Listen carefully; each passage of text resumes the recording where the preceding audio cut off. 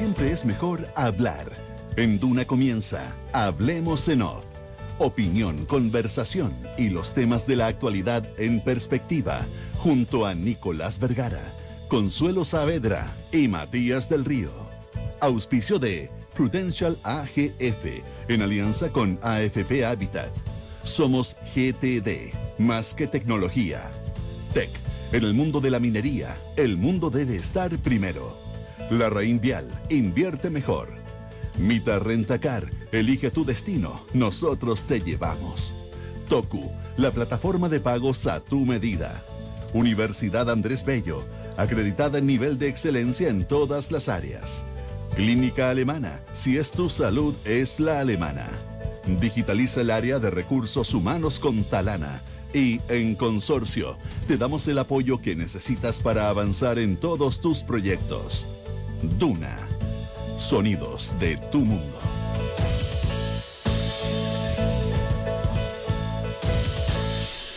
Muy buenos días, ¿cómo están ustedes? Son las 8 de la mañana con 10 minutos. Es eh, jueves, es 24 de octubre, estamos a punto de que empiece lo que en otras partes se llama la veda electoral, es decir, que no se puede hacer publicidad, ni actos públicos, ni nada por el estilo, eh, en una campaña electoral que no sabemos que existía. Eh, Consuelo, por eso no sé si importa tanto. Por eso te digo, claro, que no sabemos si existía. ¿Cómo estás, Consuelo? ¿Cómo estás, Consuelo, Nicolás, muy buenos días. Hola, buenos días, ¿cómo están? Te has congelado, Consuelo. Sí, así veo. Estoy desconcertado, estoy desconcertado. Oye, eh, tu capacidad de... Y quedé como con cara de enojada. Tu condición de ventríloco está perfecta. De preocupada, de preocupada. ventríloco perfecto. Muy preocupada, muy preocupada. Bueno, a ver, estamos para preocuparnos. Eh, oye, em, eh, en enero, de los primeros días de enero de 1986, se produjo en la localidad de Alto Hospicio, que en ese entonces era un caserío, una explosión que mató a más de 20 personas y dejó herida a muchas más. Algunos de los cuerpos de esas personas nunca se recuperaron porque producto de la magnitud de la explosión eh, desaparecieron. Eh, eran trabajadores de una fábrica de armas, de, una fábrica de Cardoven, de una fábrica que producía bombas racimo. Eh, la conmoción fue brutal, era de las pocas actividades, además de la zona franca, eh, económicas que tenía Iquique, eh, y generaba, por lo tanto, un cierto goodwill social en la gente, una, cierta apreciación muy grande. Eh, y cuando se realizaron los funerales, que fueron, insisto, en la mayor parte de los casos simbólicos, dado que no, los cuerpos habían desaparecido, el entonces obispo de Tarapacá, Monseñor Javier Prado Arangui, eh, en su homilía eh, dijo algo que a mí me quedó, me quedó muy, muy marcado hasta el día de hoy. Eh, dijo, em, esto es terrible, pero lo que estamos viendo que ocurrió en este lugar es lo mismo que ocurre o muy parecido a lo que ocurre cuando las bombas caen. Es decir, tuvimos una forma de ver, de ver lo que esto que nos provocaba bienestar, que nos gustaba, etcétera, provoca cuando se utiliza.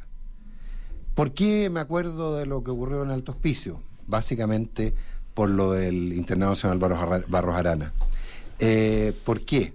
Porque eh, en muchos eh, hemos visto bombas lacrimógenas, hemos visto bombas Molotov, hemos visto bombas Molotov estrellarse contra carabineros o carabineras, las hemos visto estrellarse contra Transantiago, contra Transantiago mm. por montones, pero por suerte prácticamente, salvo el caso de las carabineras, que entiendo que una de ellas entiendo que aún está con tratamiento, eh, no habíamos visto sus efectos mortíferos. Eh, y eso es lo que ocurrió ayer en el, en el Barros Arana. Eh, es terrible. Es, es, es una. no tiene dimensión. Hay chiquillos que o van a morir o van a quedar marcados para toda su vida. Eh, una dimensión impresionante. Eh, insisto, eh, las bombas Molotov no eran mal vistas, no son mal vistas. Forman parte de un mecanismo de protesta, según algunos, y no tienen efectos. Esto es lo que puede ocurrir con una bomba lacrimógena, como ocurría con las bombas racimo que se fabricaban en alto hospicio Por eso recordé ayer las palabras de Javier Prado en, eh, cuando ocurrió la tragedia de la industria carbón en el hospicio. Si estamos hablando de este hecho que ocurrió en el Internado Nacional Barros Arana, 34 heridos, 17 de ellos graves. Entiendo que de esos 17 graves habría algunos con riesgo, eh, en riesgo En riesgo vital. vital, sí. El, el- el punto es que nos impacta, claro que nos impacta por, por- por la magnitud humana, por la dimensión humana del problema, pero nos sorprende, no nos sorprende.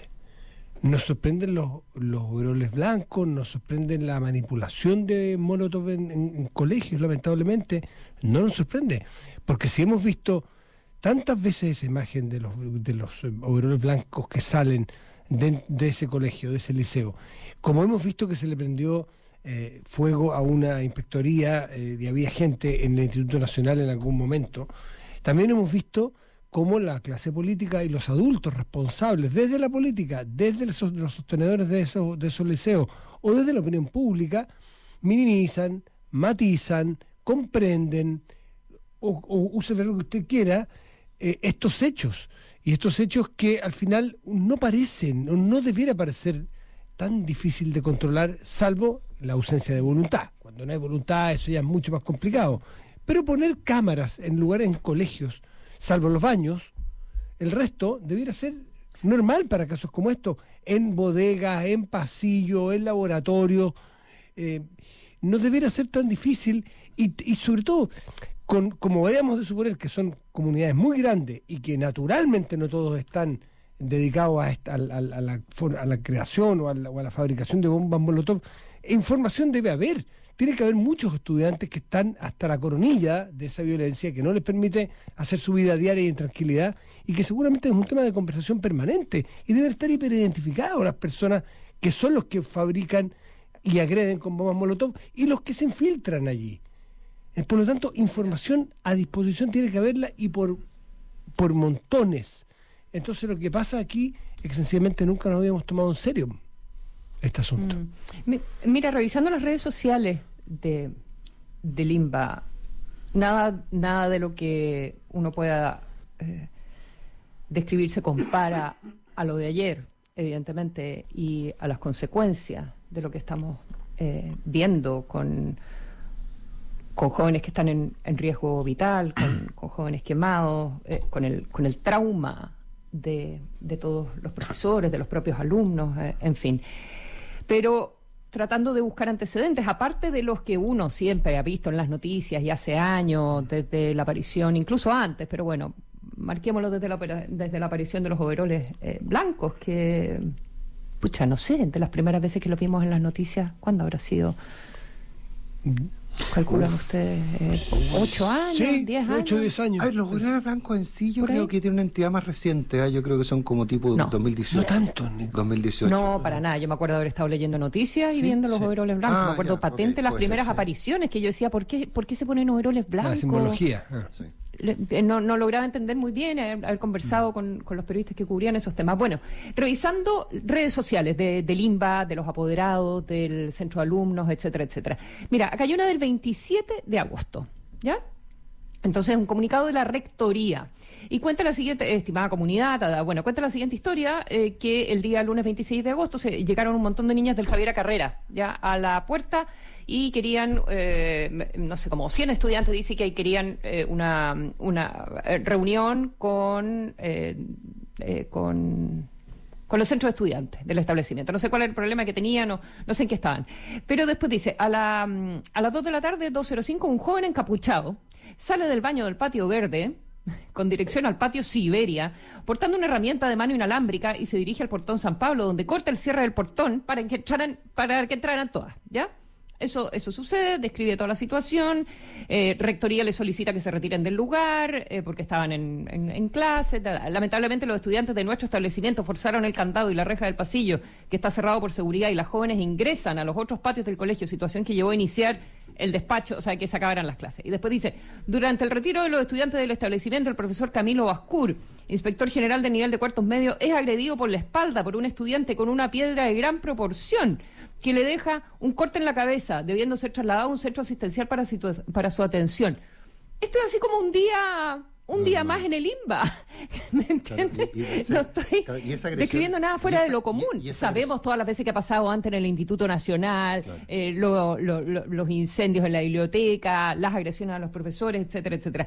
Eh, otro comunicado que me encontré por ahí es un oficio de la diputada Carmen Hertz criticando eh, criticando la presencia de carabineros eh, y eh, la excesiva presencia policial en el INBA, criticando los drones que sobrevuelan los patios. Tendría que buscar exactamente el comunicado para, para y pidiendo la explicación al Ministerio del Interior. Pido, disculpas por, proponer eh, la existencia de cámara en algunos pasillos de patio. ¿eh? Sí, disculpa, retiro. encuentro que nada que ver de tu parte. Retiro esa parte del, comentario. ya, la, diputada Carmen Hertz había entonces exigido al Ministerio del Interior que explicara por qué había tanta eh, supervisión de carabineros y drones y no sé qué más en el INBA. Eso también a propósito del comunicado que sacó una agrupación que no es el centro de padres del INBA y apoderados, pero sí un grupo de apoderados. que tiene una cuenta en Twitter, que yo no sé si son alumnos o apoderados, pero... Yo pregunté, me dijeron que era una mezcla de exalumnos, ah, perfecto. profesores, apoderados y eventualmente alumnos, pero, pero que pero mm. básicamente me dijeron que era eso cuando porque vi cuando tú, tú hiciste el, reporteo. Oye, eh, perdón. Eh, claro, bueno, porque ahí, porque ahí aparte de lamentar y, llamar a colaborar y tal, ta, condenan, eh, dicen condenar y que no hay que dejar espacio a ningún intento de criminalización de los estudiantes, ¿ya? Y que las manifestaciones extremas eh, son múltiples y siempre habrá quien esté dispuesto a regar su vida y su libertad por hacer ruido suficiente para ser escuchado. Eh, manifestarse de un derecho, vivir sin nada que reclamar es un privilegio. Sí, eh, es bien impresionante. Oye, pero yo, yo a propósito de lo que comentábamos antes, lo que estaba Matías, tú y yo, eh, tú, yo no, conocía la agresión al profesor Vascur, no tengo idea quién es el profesor Vascur, pero ya que tú lo mencionaste, al inspector de cuartos medios, a mí me encantaría saber cuándo, si la dirección del colegio presentó la denuncia correspondiente a la fiscalía. Me encantaría saber si el centro asistencial en el cual, en el cual fue atendido el profesor Bascur, que cuando hay lesiones de este tipo tiene la obligación de denunciar, lo hizo. O sea, me encantaría saber dónde, dónde está radicado el proceso por una agresión que podría haber sido criminal, si termina con una herida que merece atención médica, con un objeto, con una piedra de gran tamaño y por la espalda. Eh, ¿Dónde están? Entonces, a ver, ahí es donde uno, donde yo me pregunto, perdón, el tema de las complicidades. La autoridad declara estar superada. A ver, ¿y la autoridad usa todo lo que debería ah, usar? Bueno, es cierto, si recibe un oficio o se entera de un oficio de una diputada eh, reclamando porque el, eh, reclamando al Ministerio del, Interior porque alguien está preocupado por la seguridad al interior de un lugar en que hay entonces claro yo los entiendo sí sí lo estoy planteando de otra perspectiva. Creo creo que entiendo a las autoridades del INBA de no hacer representación porque el día siguiente los echan probablemente. Pero pero es que encontré a la diputada. Mira escucha Nico Em, que está en el, comunicado en el centro, en, el este mediados de septiembre, ya en el sitio, en, el Instagram del Centro de Padres. Eh, entre otras cosas, dice la diputada Hertz. Em, usted debe tener presente, la, ministra del Interior, porque ella va a dirigir el oficio, debe tener presente que el derecho a la protesta social emana del derecho a la libertad de expresión y del derecho de reunión, garantías reconocidas en tratados internacionales. Ya, da, da, da, da, El Estado tiene la obligación de garantizar y proteger el ejercicio, ya, del derecho a la protesta, porque es la libertad de expresión. Y que en ese contexto los niñas, niñas y adolescentes son sujetos de especiales garantías, especiales garantías del derecho a protesta.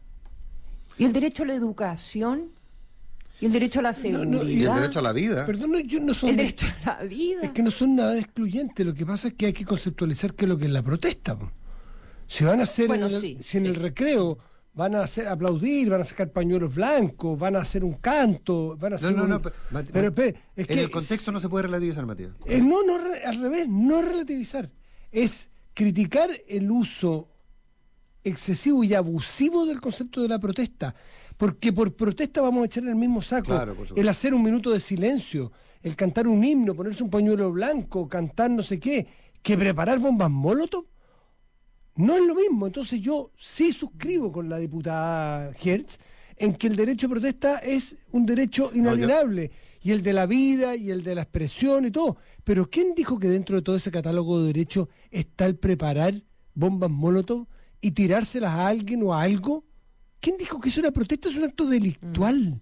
Entonces me parece que tiene un problema Ah, conceptual. perdona, oye, perdona, este, este, mm, eh, lo de Carmen Hertz es a propósito del evento que te describí del, del Liceo Javiera Carrera de Santiago. Ah, cuando. Ah, que ahí había. Es Carmen Hertz eh, enojada porque el centro de alguno, un grupo de apoderados eh, le dice a Carmen Hertz, a la diputada, em, sobre el actuar de carabineros a propósito de lo que le describí recién de la entrada de las jóvenes del, del, del- Carrera. del Javiera Carrera. Entonces, los, los apoderados manifiestan la preocupación de que ante cualquier legítima manifestación de estudiantes en el establecimiento, los estudiantes del internado y su dependencia reciben gran cantidad de lacrimógena y líquida del carro lanzagua y además la presencia permanente de un gran contingente de carabineros y de drones. Yo no Eh, sé si por ignorancia, en fin. por mala voluntad o por qué alguien quiere confundirnos. A que todo eso que ha pasado está de- circunscrito dentro de la posibilidad, al derecho a la protesta. No, no, no, no secuestren la- el derecho a protesta porque es un derecho interesante, inalienable, es expresivo. Pero eso no es protesta, lo otro no es protesta. Quemar a alguien, discúlpenme, no está dentro de las posibilidades que yo había pensado en que uno puede. El, el fa- el famoso derecho a pataleo, por así decirlo, no considera Molotov, al menos hasta donde yo sabía. Quizás las cosas han cambiado. ¿ah? Yo te tengo, o sea, el, el- el- el- culto a la Molotov, las poleras con imágenes de una bomba Molotov, eh, el, el- eh, el- la relativización. La cultura cuando- de la violencia. La relativización cuando quemaron las carabineras. eh, Es que eso no es protesta. no, no, pero claro que no, pues, pero, pero, pero hay un mundo que, que, que ver, los niños, a ver, todos tuvimos 16, 17 años. Yo a los 17 años me sentía el dueño del mundo.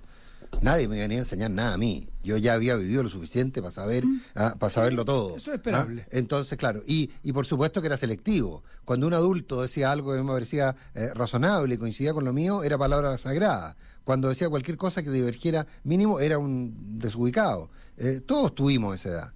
Eh, el problema es que afortunadamente nos tocó que había autoridad, que había disciplina, que había quienes nos enseñaron y nos explicaron que la cosa no iba por ahí. Entonces, pero en este caso claramente no, pues Matías. Entonces, las señales, pobre rector del ISMA, sí, sí, él está sometido a esto.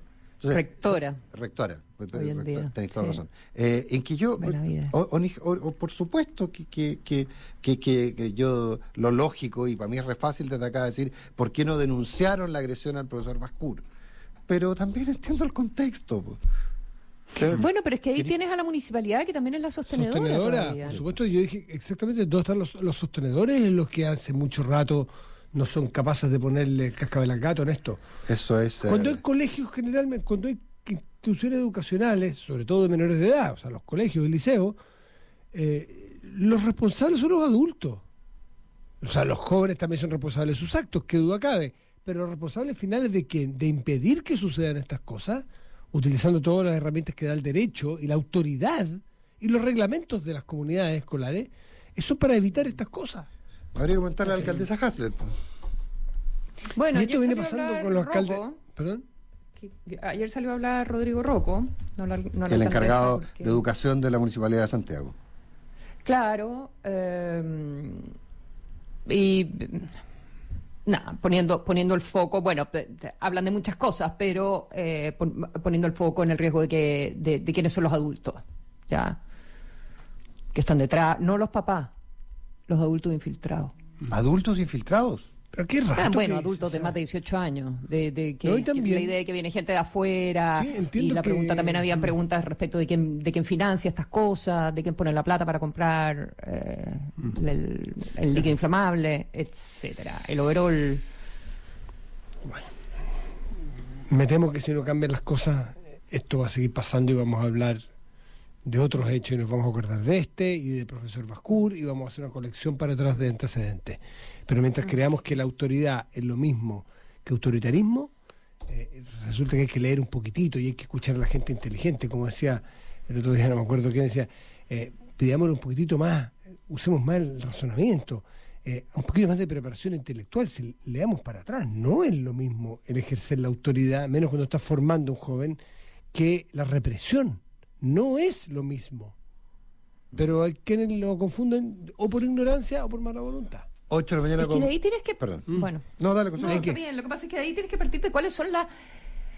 De cuáles son las reglas de convivencia en un colegio. Tú no tienes por qué llegar a, a tener que llamar a los carabineros. Yo, yo, o sea, obviamente que eso es muy violento para cualquier colegio. Eh, que, que seas un problema de seguridad pública. Pero para no ser un problema de seguridad pública, tienes que ter- tener reglas de convivencia y normas internas que se cumplan.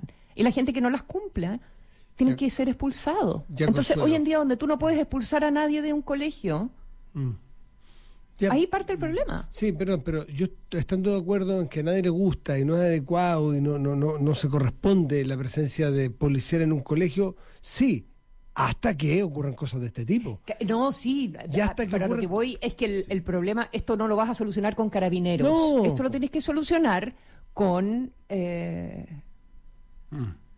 con un respaldo, o sea, uno, con leyes que te permitan, Ejercer autoridad. eh, que te permitan ejercer autoridad, claro. Aula segura. Y con una voluntad del sostenedor para ejercer esa autoridad. ¿Se también. acuerdan de auto? de- ¿Se acuerdan de, de- de- Aula segura. Aula segura. Sí. 8.29. ¿Cómo olvidarlo?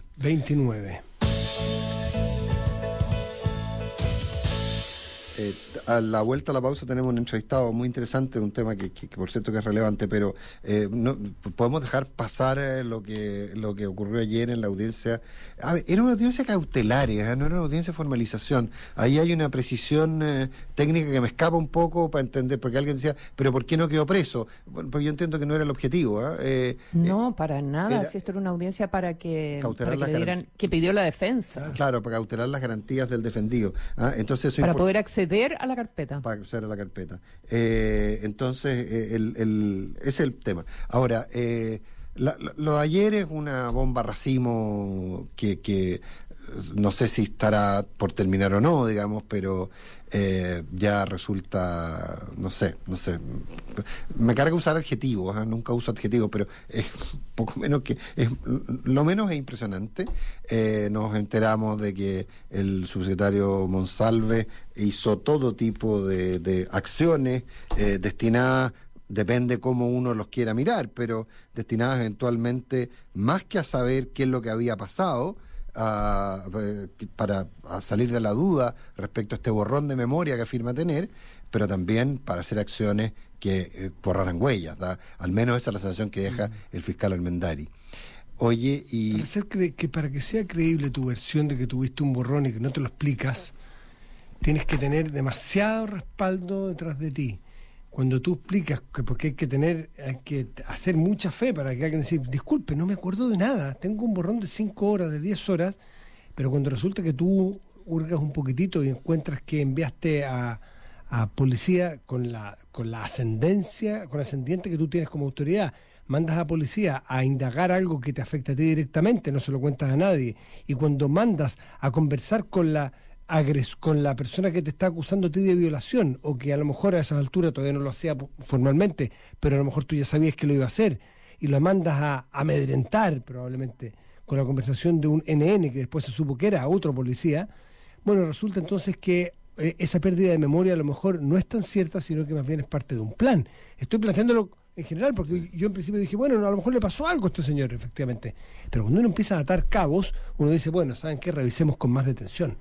Porque hay muchas acciones que empiezan a hacer ruido en alguien que era una autoridad. Mm.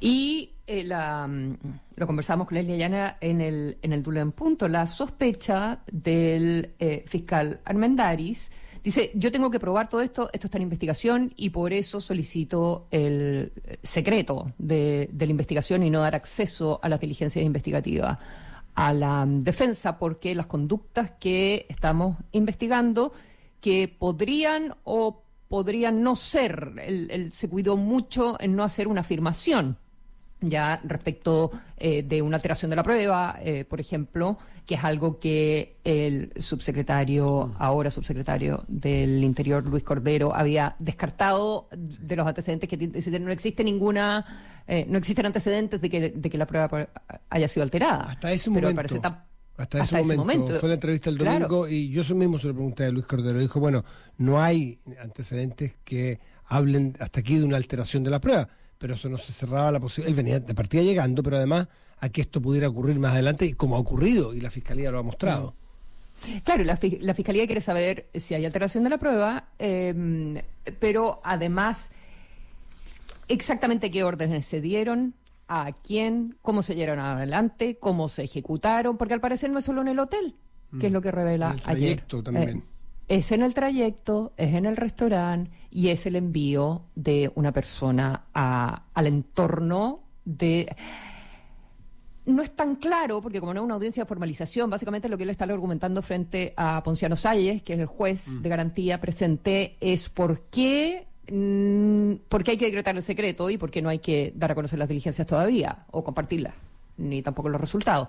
Entonces, eh, eh, habla que eh, se accedió al entorno íntimo y que a las cercanías del departamento y que la- y, y habla el primer contacto que habría tenido la víctima con la policía fue a propósito de estas diligencias Perdona el que detalle. encarga el subsecretario. Entonces no explica bien en qué consistió el contacto. Bueno, todo eso es lo que vamos a tener que conocer en el contexto de la formalización. Pero lo que dice Armendáriz es como, si él tenía tanta preocupación de esto, ¿por qué tres semanas se demoró? Sí. Y lo que sospecha, y él mismo lo dice, nosotros lo que creemos es que fue porque se dio cuenta que venía una denuncia. Perdón el detalle, Consuelo. ahora- Tú dices el primer acercamiento de, de, de la, de la acusadora con la policía fue ese acercamiento. Eso lo sabemos ahora, porque la, po- la- la persona en ese momento no sabía que era un policía.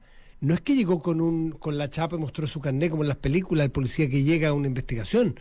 Se le acercó una persona y de hecho la persona que acusa, la mujer, la funcionaria acusadora, ahora se viene a dar cuenta, ex post dice, ah, ahora entiendo quién es esa gente que se me acercó. O sea, de manera velada. Esto te lo contó, y esto, esto te lo contó la abogada Me lo ayer. contó la abogada Santibáñez, que asumió recién la defensa de ella. Cuéntanos que- un poco de esa entrevista, Bueno, porque yo creo que es muy relevante esa, esa entrevista que tuvieron ayer en el nada fue personal. muy, muy interesante porque además ella llevaba literalmente un par de horas a cargo del caso. Ella había podido conversar una vez con su defendida y todavía eh, y todavía no, no, no, no se hacía del caso ni, estaba recién, literalmente recién asumiendo. O sea, no, no. Pero así todo entregó varios antecedentes interesantes. Uno de esos es ese que planteas tú. La acusada recién se viene a enterar cuando habla la fiscalía de que le cae el tejo de que esa gente que se le acercó podían ser y eran aparentemente esas policías que había enviado Monsalve. Eso uno. Dos, que está en condiciones de, de salud mental muy malas, lo dice su propia abogada. Ella teme por su vida. Ella teme por su ella- La abogada teme por la vida de su propia defendida. Uno, o sea, dos. Tres, otras cosas. Eh, La abogada, o sea, la propia acusada, perdón, acusadora, le ha dicho a su abogada que, y aclaró que el señor Monsalve cuando viajó al sur o no ha tomado contacto ni con la familia ni con el padre de ella, que es un rumor que se ha extendido con mucha, mucha facilidad. Eh, eso dice la abogada de ella misma. No, no ha habido ninguna información. Eh, ella teme, la abogada Santibáñez también, eh, y tiene no antecedentes todavía, pero teme que es muy probable que sí haya destrucción de pruebas. Estoy siendo muy sucinto y rápido. Y otra cosa, ¿por qué se explica que no haya formalización todavía, aunque ella espera que sea la brevedad? Es porque espera que se junten más antecedentes para poder pedir las cautelares necesarias, porque ella tampoco le calza mucho que esta persona acusada, con los antecedentes que se han ido recopilando, ande libre por allí, porque puede justamente destruirse actuando, pruebas. Claro, claro, claro. claro. Pero todavía, según la propia abogada Santibáñez, eh, ella no sabe cuándo, porque eso es prerrogativa de la Fiscalía, eh, pero insisto, espero que sea la brevedad, está esperando que se arme un caso un poco mejor para poder formalizar y eventualmente ahí pedir cautelares en contra de Monsalve. ¿Mm? 8 de la mañana con 37 minutos. Dante Miniti, académico de la Universidad Andrés Bello, lideró el equipo internacional de científicos que creó el mapa infrarrojo más detallado de nuestra galaxia, abriendo nuevas líneas de investigación y dejando un valioso legado para la astronomía mundial. ¿Cuántas solicitudes tienes que gestionar hoy? Hazlo sencillo con Talana y su plataforma de recursos humanos que, además de ser fácil de usar, es estable, segura y confiable. Conoce más en talana.com. Talana, tecnología humana. En GTD son más que, te- más que tecnología, miles de kilómetros de fibra óptica y una robusta red de data centers. Conecta tu hogar y digitaliza tu empresa con la mejor experiencia. GTD, más que tecnología. ¿Aún inviertes en depósitos a plazo? Invierte mejor con el apoyo y asesoría de una empresa con 90 años de experiencia. Hace el cambio con los expertos de inversiones de la red Vial, quienes cuentan con una mirada panorámica como la del búho. La red Vial invierte mejor. La cuenta más de Banco Consorcio hace crecer tu saldo pagándote un 5,75% de interés anual. Definitivamente es la cuenta vista nunca antes vista. Solicítala 100% online en consorcio.cl, la cuenta que te paga más intereses. Aumenta tu recaudación, reduce costos y mejora la experiencia de pago con Toku, la plataforma de pagos a tu medida. Conoce más en traitoku.com.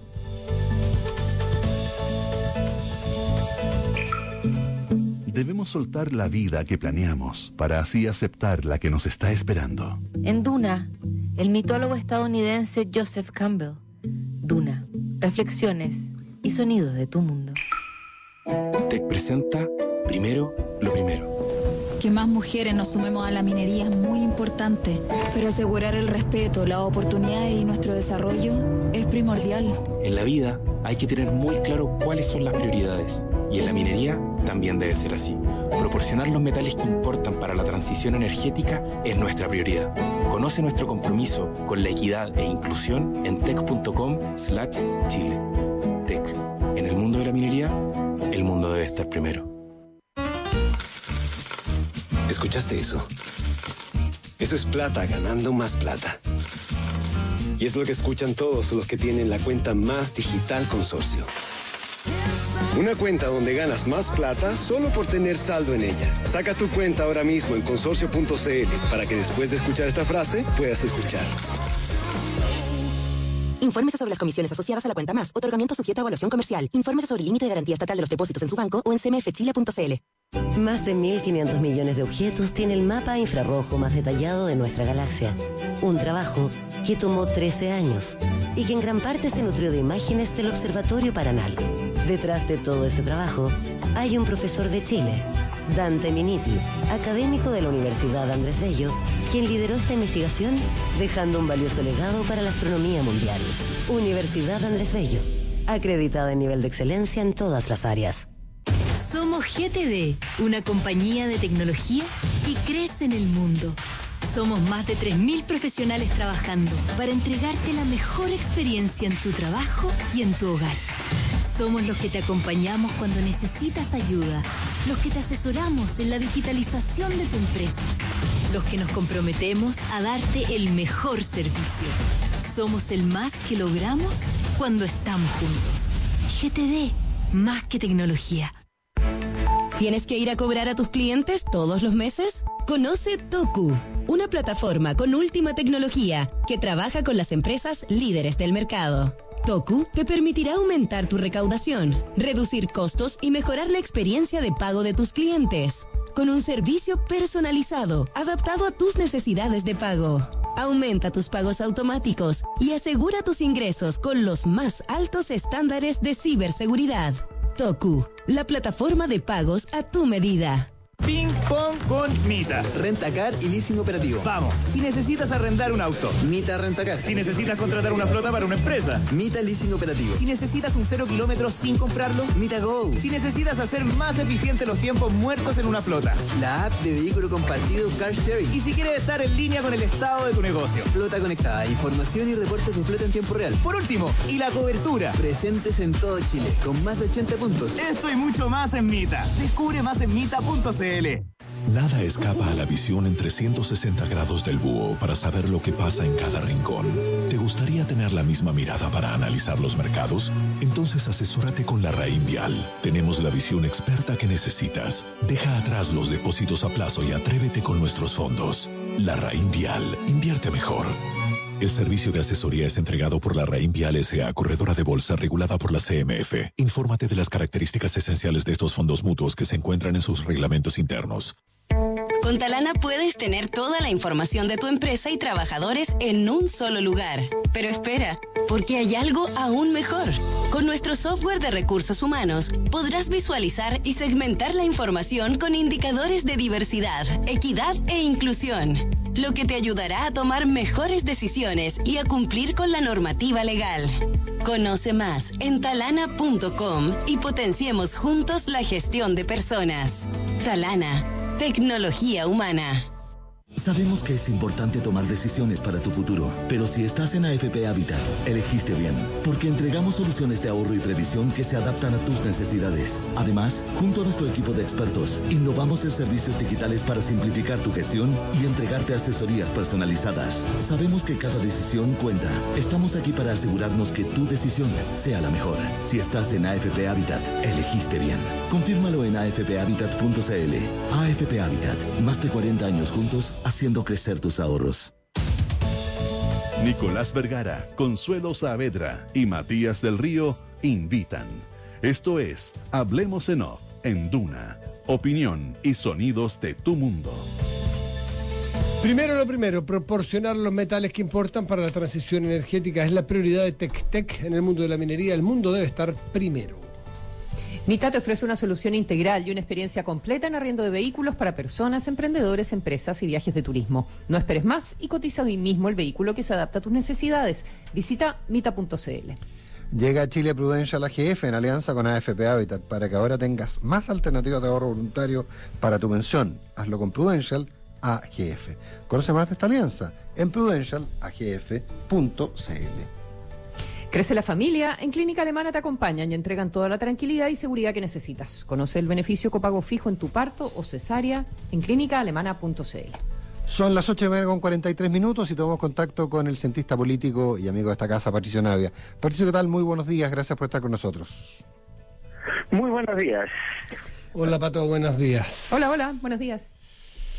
Oye, eh, Patricio Navia, eh, se, ¿hay algo dicho respecto al tema de la elección americana, esta, mm, esta, el que todos los medios, hasta ayer por lo menos en la tarde, coincidían en que había un cambio y había una recuperación de Donald Trump, eh, ¿significa, eh, uno puede sacar alguna conclusión o falta mucho por jugarse todavía?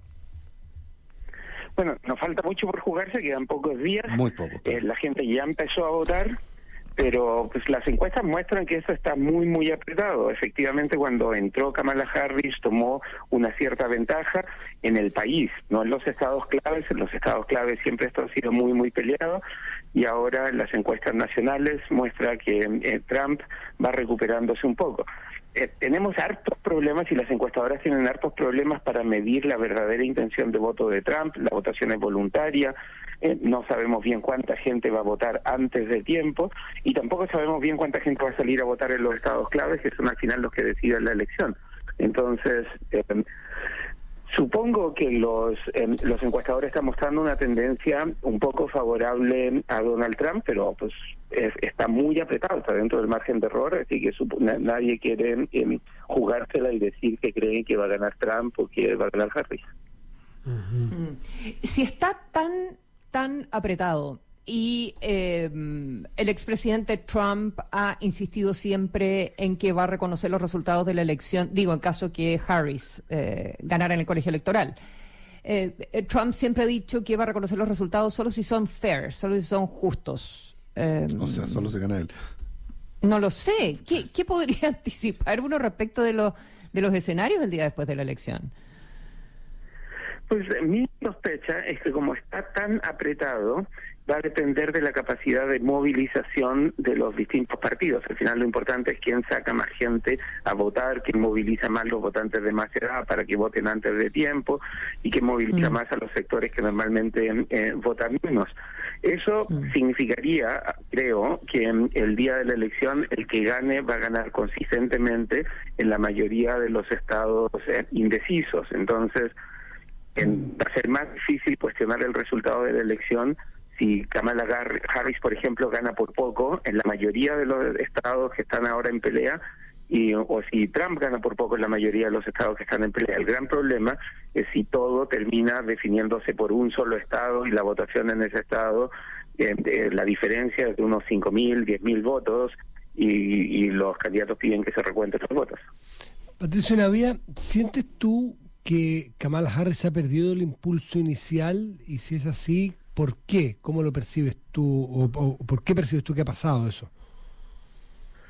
Sí perdió el impulso inicial, porque el impulso inicial era que era la novedad, ¿no? Y reemplazaba Biden, así que la gente decía, bueno, al menos ya no está Biden. Y a medida que la gente fue conociendo a Kamala Harris y quedó claro que no tomaba posturas muy claras sobre ciertos temas, que no tenía una buena respuesta sobre los problemas de la migración y cómo los iba a solucionar, sobre todo que no supo cómo separar aguas del gobierno de Biden, que es bastante impopular, entonces su aprobación empezó a caer. Pasó varias semanas sin dar entrevistas en televisión y luego empezó a dar entrevistas en canales que son más bien canales amigos. Entonces tenía el desafío de que los estadounidenses la conocieran, no enfrentó bien ese desafío y cuando la empezaron a conocer hubo muchas cosas de Kamala Harris que a mucha gente no le gustó. Con todo, la gente sí conoce muy bien a Donald Trump y a muchos estadounidenses, de hecho una mayoría de los estadounidenses no le gusta mucho a Donald Trump, entonces la vara para Harris tampoco era muy alta. Y pese a todo, eh, Trump logra revertir, o sea, a ver, no revertir, no estamos hablando de ningún número definitivo, como tú muy bien planteabas, eh, pero en algún minuto dio la sensación, ¿te acuerdas de ese viejo refrán de que caballo alcanzado es caballo pasado? Eh, dio esa sensación y parece, y parece que no era así, digamos. Y eh, aparentemente no era no, no, era tan claro, y pero eso es en buena medida porque mm, la gente no conocía al, al, al otro caballo, ¿no? Ah, o sea, perfecto. Había había disgusto con, con Trump en muchas dimensiones y todavía lo hay. Harris claramente gana entre mujeres si las mujeres se movilizan y salen a votar más, en particular las mujeres más jóvenes, entonces Kamala Harris va a ganar esta elección. Pero eso es porque no les gusta lo que hizo Trump, mucho más que porque les guste Kamala Harris, ¿no? El, el voto de las mujeres es un voto de castigo por las políticas de Trump, particularmente en relación al, al aborto, y, ahí iban a votar contra eh, Trump casi independientemente de quién estuviera al otro lado. La gran duda es si Kamala Harris va a lograr atraer un poco más allá de esta votación. El problema, a mi juicio, es que Harris aparece como la candidata de las elites y Trump aparece como el candidato contra las elites. Y como la gente está enojada con las elites, entonces termina votando por eh, Donald Trump porque pues quieren castigar a las elites y Harris aparece como la elegida de las elites, los cantantes, los actores, eh, los eh, grupos empresariales más importantes parecen más interesados en que gana Harris y la gente dice pues queremos castigar a esa gente, por lo tanto vamos a votar contra Harris. Mm. ¿Cómo puede ser que logre Donald Trump después de haber sido presidente? eh, insistir en que él es el outsider. Es algo realmente impresionante. ¿Qué análisis haces tú de el bien, tú que estás en esta, bueno, ahora estás en Santiago, fuiste a votar, pero eh, eh, tú que estás en Estados Unidos, uno, uno lo ve muy mediatizado, entonces es difícil eh, saber realmente si las cosas insólitas que, uno ve de Donald Trump son eso, si esa es su campaña, si su campaña es realmente ir a un meeting y bailar durante 40 minutos.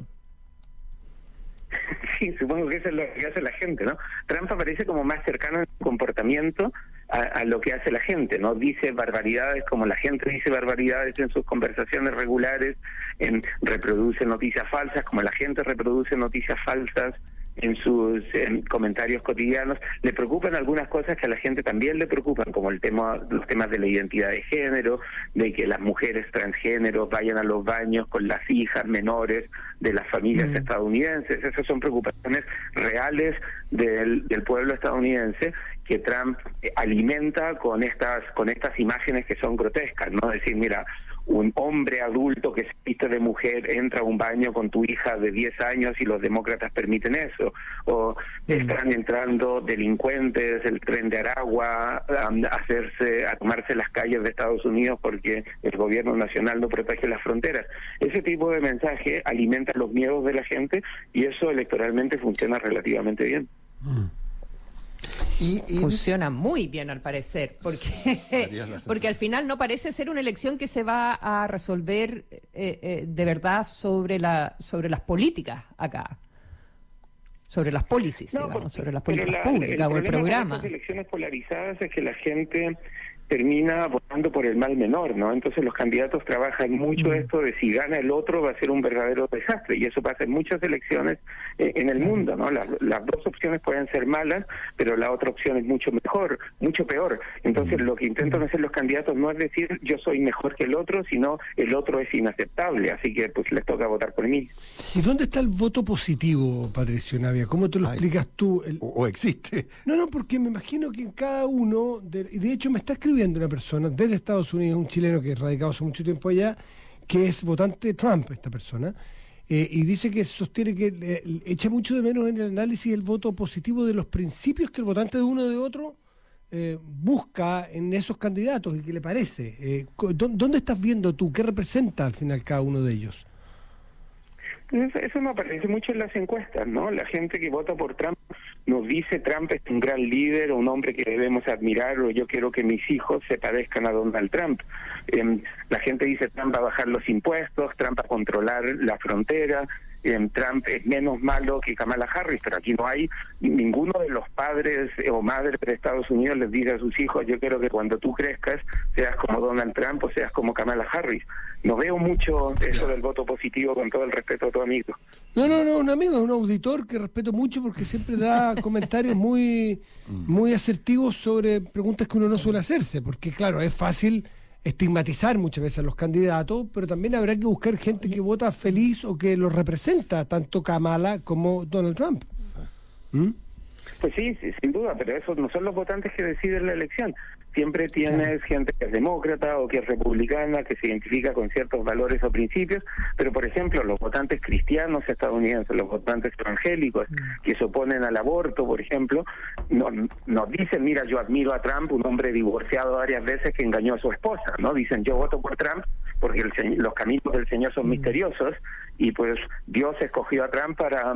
eh, eh, para hacer que el aborto fuera eh, ilegal o devolverle ese derecho a los distintos a los distintos estados. Entonces, no hay un voto entusiasta de decir, mira, Trump es un gran líder el- al que debemos admirar como persona. Eso no pasa y tampoco pasa mucho con Kamala Harris. ¿no? La gente dice, mira, votemos por Harris, eh, no tiene tanta experiencia, no me gusta tanto, pero pues al menos no es Trump. Eh, en, en el minuto que nos queda, ¿qué le conviene más a Chile primero y a Latinoamérica, a Latinoamérica después en términos del resultado electoral?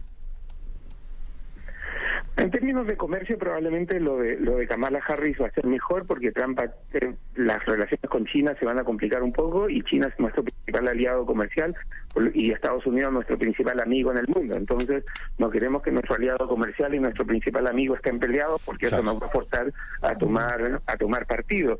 Por otro lado, eh, ambos van a aumentar mucho el déficit fiscal estadounidense y eso probablemente va a tener consecuencias sobre em, sobre el dólar y sobre el costo de, lo- de los préstamos, ¿no? Los costos de endeudarse van a estar más altos porque Estados Unidos se va a seguir endeudando mucho más. En ambos casos va a ser eh, relativamente dañino, pero para nuestra mala fortuna Estados Unidos no le pone mucha atención a lo que pasa en América Latina. Muy poca, ¿no? Pues sí, porque China es más importante, Europa es más importante y América Latina tampoco se hace cargo de sus propios problemas. Entonces, la gente percibe, en Estados Unidos se percibe que si América Latina no es capaz de solucionar el problema de Venezuela, pues entonces tampoco debería tener un, lugar en la mesa en el mundo. Mm, sí, pero también se convierte en uno de los principales temas de campaña de, de- la elección, que es la inmigración, y, y en ese sentido también eh, eh, tiene que hacerse cargo de eso, no solo de construir el muro. Sí, pero todos entran por la frontera de, de México, ¿no? No son solo gente de América Latina, van de China, hay redes de tráfico de, de otros países también, India. Entonces, la migración es un problema que afecta a Estados Unidos, independientemente de dónde vengan todas estas personas. Y si aún los- la situación en América Latina estuviera mucho mejor, igual entrarían por la frontera del sur gente de la India y gente de China y gente de otros países. Entonces, Está bien, eh, la mayoría de los que entran son de América Latina, pero la, la oferta o la lista de personas que quisieran entrar ilegalmente a Estados Unidos se compone de gente de todos los países del mundo. Patricio Navia, un millón de gracias por haber estado esta mañana conversando con nosotros. Probablemente volveremos gracias después con nosotros. Gracias, a ti, Pato. Muchas gracias. Buenos Que estés días. muy bien. Ya nos vamos, ya viene información privilegiada. Nos vemos mañana viernes. Buenos días. Buen día. Esto fue Hablemos en Off, un clásico de la opinión y la conversación de actualidad. El día avanza con las voces de Duna 89.7 FM y Duna.cl. Duna, sonidos de tu mundo.